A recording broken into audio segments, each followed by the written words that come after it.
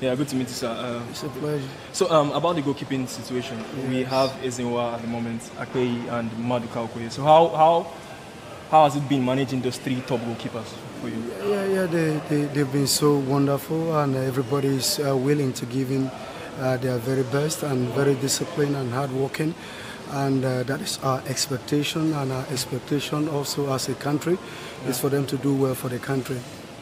Okay, so so in the mind now we have Akpeyi who has been in fine form. So we we coming up against Benin Republic tomorrow. So is there any any hints that he's going to be the one and, and go for the Super tomorrow? Yeah, we, we always wait to the last moment, and uh, I mean, uh, the three of them have been doing well, and uh, you know what uh, has done, and know what uh, Maduka has been able to do, and we know uh, Akpeyi has been doing very well. The team is leading in the league, the South African League, and uh, that is what we expect. That's what we want.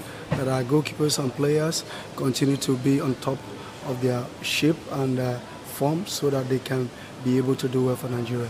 Yeah, my assessment is going to be a great goalkeeper, and he's he's doing well. And uh, for us, we have a future goalkeeper in Maduka.